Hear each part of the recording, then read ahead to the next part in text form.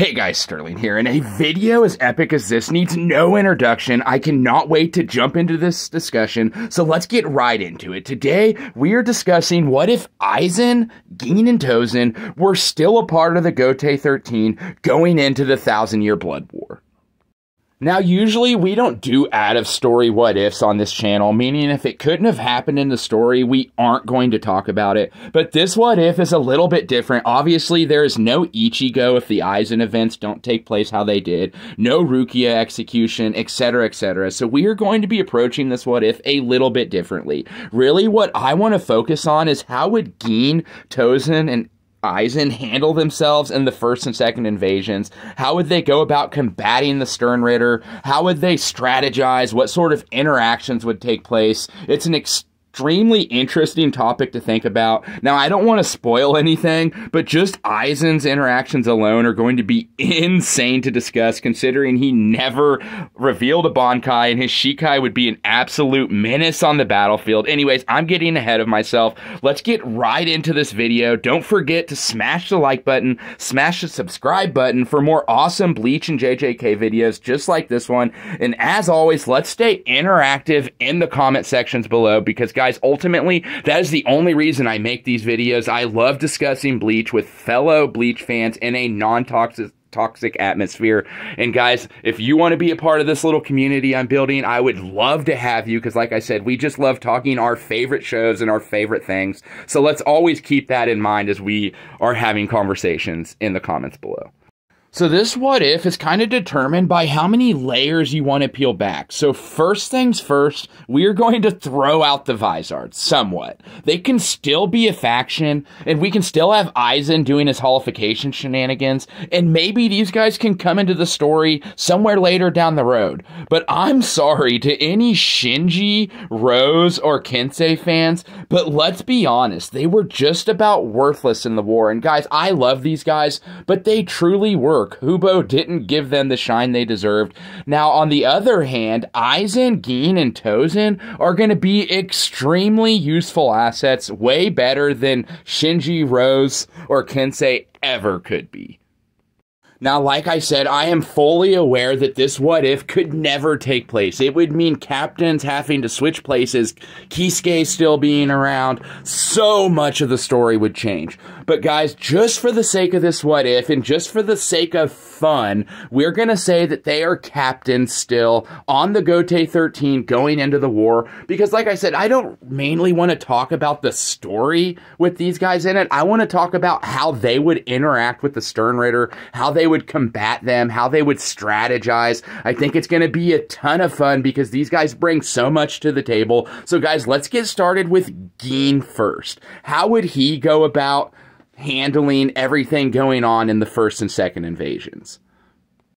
Now, Gin, Aizen, and Tosen are still going to be in cahoots in this what if. That's something that can't change. I think they're going to be somewhat close to each other on the battlefield. And even before the war starts, you're going to have a Gin more or less being like, Captain Aizen, the Quincy are coming back. We know they're going to attack. How are we going to proceed?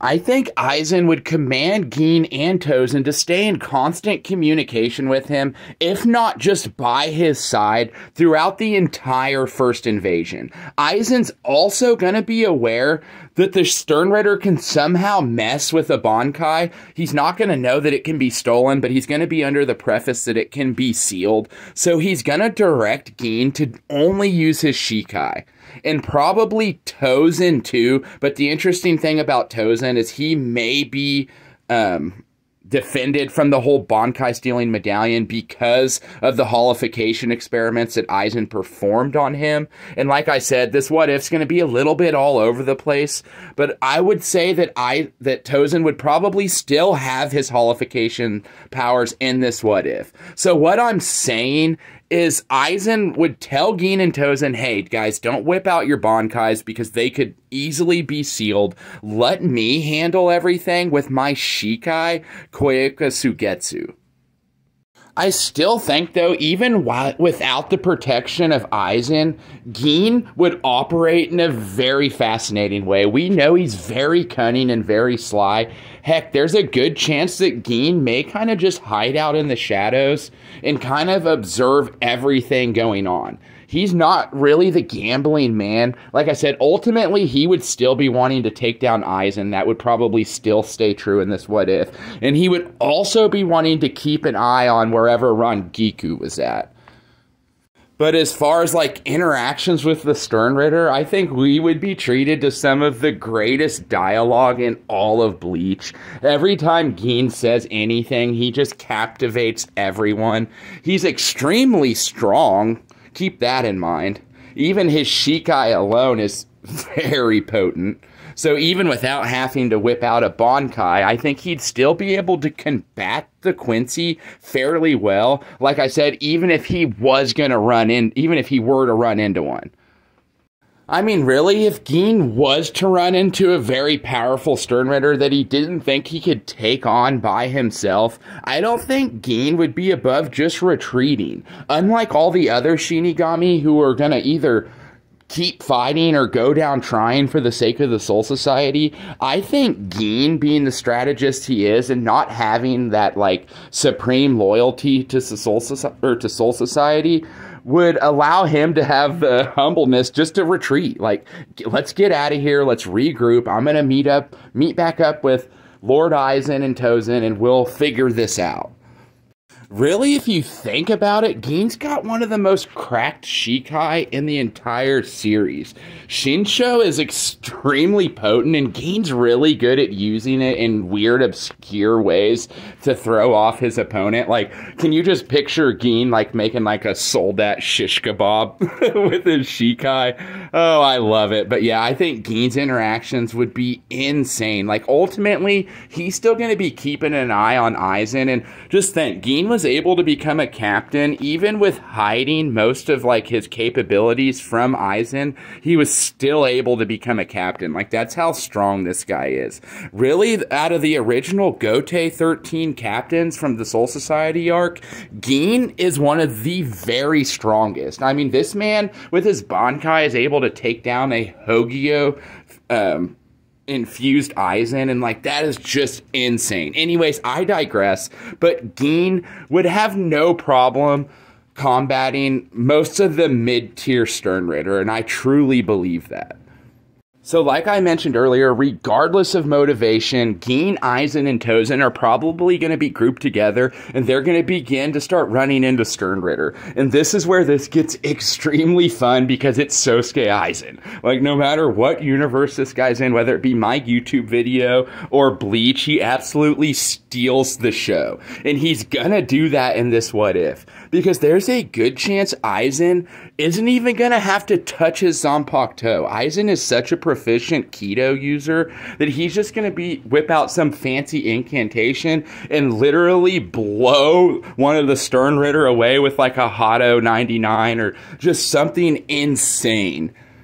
So let me paint you an awesome picture for a second. We've got some Sternritter, uh, take your pick uh, mascuma- Mask De Masculine, let's say. Okay, say he comes up and he begins to battle Aizen. He's going to be like, use your Bankai so I can steal it. You know, he's not going to say that, but that's what he's going to be thinking, you know? And Aizen's not going to have to. His Shikai is going to completely handle any Sternritter. Like, I, I'm...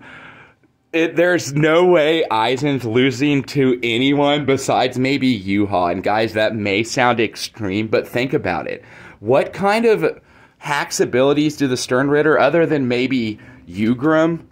What are how are they going to defend against Aizen's Kyoka Suigetsu? They're not going to be able to. It's going to be insane. And like I said, they're going to be like coaxing him into like using his Bankai, and it's not going to matter because he's going to be able to, to decimate them even without a Bankai. Now, a lot of you are probably like, Sterling, slow down. Like, what if he runs into like As Nodt's the Fear? And something like that would not be a problem for Sosuke. You have to remember that, like, when you're battling Sosuke, who you're looking at may not actually even be Sosuke. Like, uh, Sosuke could get As Nodt to like infect whoever his buddy was at the time. So whoever like so yeah, Mask De Masculine. Like literally Aizen could make As Nodt think that Mask De Masculine was him. Like the mind tricks that he would be playing on the Quincy, like he could just jump from battle to battle more or less influencing each Quincy to see what he wants them to see, and ultimately they would just destroy each other, just like the Gotei 13 did in the Arrancar arc. That is the same thing that would happen to Yuha's army. I mean, we could even take it one step further. It's absolutely insane how useful Sosuke Shikai is going to be in this battle. He could go around masquerading as you. He doesn't even have to masquerade. He could just literally make the Stern Ritter think that they are talking to their leader. Like, so he just sends a Yuha in front of all the Stern Ritter, and he's like, "All right, guys." The plan now is, is I need you all to slit your throats for your master and like they may do it. Like I, I, mean, I'm serious. Like the things that Aizen, how he would be able to manipulate the battlefield is endless.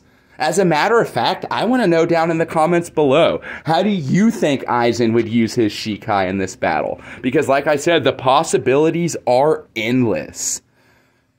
Now, I know it probably wouldn't be quite as simple as I'm making it out to be. Obviously, Aizen would have to release his Shikai in front of anyone he would want to manipulate, but literally, he could just flash step around the battlefield and literally release his Shikai, and most the Sternritter and Soul Society are going to be affected by his Kyoka Suigetsu.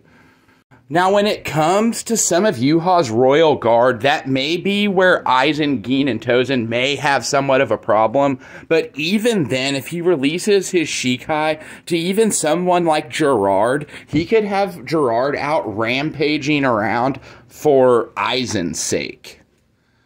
I think the only people that are going to give Aizen any trouble is, like I mentioned, maybe Jugram, Probably not, though, because he could probably circumvent the balance and just, like I said, once he uses his Shikai release, he could make Jugram see anything. Now, if Askin were to get um, Aizen inside his death dealing before Aizen could release his Shikai, then we have a different story. But even then, he could maybe release um, his Shikai afterwards and still it be potent enough and him be able to find a way to escape the gift ball deluxe. Anyways, I'm rambling. What I mean is Aizen is going to be able to take down any mid tier Sternritter and maybe even the Royal Guard. Like I said, it's all up to imagination at this point just because of how strong Aizen Shikai truly, truly is. Now, I haven't forgot about good old Kaname Tosen. I want to paint you a new picture now. So we still have Aizen, Gin, and Tosen roaming through the battlefield, um, combating Quincy, and then the Bankai stealing begins to happen. And Sosuke's curious, so he's he could just command uh, Tosen, you know, Tosen, use your Bankai. I'd like to see how this works. So, you know, Tosen goes to activate his might I add, extremely hacks Bankai, and the Quincy would go to steal it, and it wouldn't work. Because at this point, it's very likely that Kaname would have his holification powers, thus making the Bondot or Bankai stealing medallion worthless. So yeah, this Kaname wouldn't only have access to his extremely hacks Bankai, but he could utilize the resurrection form that we see in the fake Karakura Town arc and that would be extremely potent. I would consider a Resurrection right up there with a Bankai amp and even a Vollständig amp. So what you have is a group of Shinigami in Gin, Aizen, and Tosen that are just making their way through the battlefield, completely decimating everyone. Between all three of those combatants, like I said, with the mixture of Aizen Shikai, Gin's cunningness, Aizen's cunningness and smarts, and Kaname's resurrection form, it would be the Sternritter aren't going to be able to handle it, so they're just going to make their way right up to Yuha, and Aizen would want to speak with him. Now, this is where the what if gets extremely crazy and somewhat off the rails. But just think about this. What if the extremely potent combination of Aizen, Gin, and Tosen were enough to combat Yuha into having to use, forcing him into having to use the Almighty? And hear me out. There's a huge misconception in the Bleach fandom that uh, Yuha didn't have access to the Almighty during the first invasion. He did. It's just if he were to have activated the Almighty before it was ready, he would have risked just taking the souls and the power from his entire Sternritter army, thus putting a halt to the first invasion. So that's why he doesn't activate the Almighty before it's ready. There's too big of a risk to his army. But what I'm saying is, what if Aizen, Gin, and Tosen pushed him and Jugram to that point? What if they were strong enough with their hacks abilities that they were able to push Yuha into activating the Almighty? Now, obviously, they would get decimated after that. Maybe they'd be able, be able to escape, maybe, because the Kyoka Suigetsu would still be affecting Yuha but still something extremely crazy to think about. But let's say they don't fight. Let's just say they have a conversation, just like in the actual story. Aizen would still end up manipulating Yuha's sense of timing to the point where he would run out of time and have to escape into the shadows, just like in the actual story. The first invasion would come to an end, and all the Sternritter would have to disappear because, like I said, Aizen would be able to manipulate Yuha to the point where he would think he was had more time than he did, just like in the actual story. So then that would give Gin, Aizen, and Tosen and Soul Society in general a chance to regroup for the second invasion, just like in the story. There's a very good chance that Yamamoto doesn't even make it to Yuha because Aizen makes it there first, and like I said, things run their course and the first invasion comes to an end. Or, like I said, Aizen combats him and more people show up on the battlefield. Ultimately, they still end up getting decimated by the Almighty at this point, but it's still a very interesting thought experiment. Oh, anyways, guys, I know this what if has been completely off the rails, but as a huge fan of Bleach and a huge fan of all three of these Shinigami, I couldn't help but to start thinking about the interactions and how they would handle the Blood War. I think it's extremely fascinating. Like I said, I think Aizen Shikai would be such a pivotal part of the first invasion that it would probably end up saving the Shinigami skin.